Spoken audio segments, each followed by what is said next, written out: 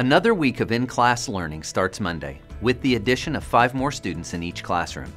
This is phase two of returning children to our schools.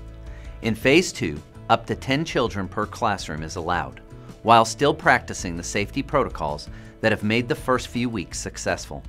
Remember that you have the option to keep your child at home for online learning. Over the coming days, we will see how Labor Day weekend gatherings impact COVID numbers. The few cases that we have experienced confirmed that our response plan is effective. Thanks to the vigilance and training of our district staff, we quickly isolated individuals, conducted contact tracing, and sanitized effectively, which allowed us to keep our schools open. We reported the cases and communicated with the parents and employees at the affected site. Your patience, understanding, and collaboration with your school staff have made these last few weeks a success. I know that you are eager, as we are, to return your children to schools.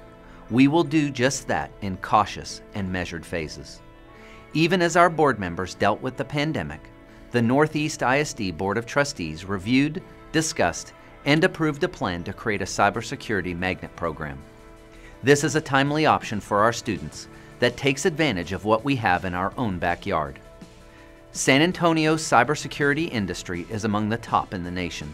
As many of you know, the nation's Cyber Command is right here in San Antonio, and our own UTSA is home to the nation's top cybersecurity program. The district's newest magnet program will enroll students for the fall of 2021. Cybersecurity, along with robotics and technology, are industries that are hungry for talented, creative, and qualified graduates. We know that industry leaders will want to collaborate with us and make sure that their future workforce receives a solid foundation. Discover more about the Cybersecurity Magnet Program at the link in the description below. As always, visit our homepage for updates regarding COVID and our phase-in plans. Thanks for watching, and I'll see you soon around the district.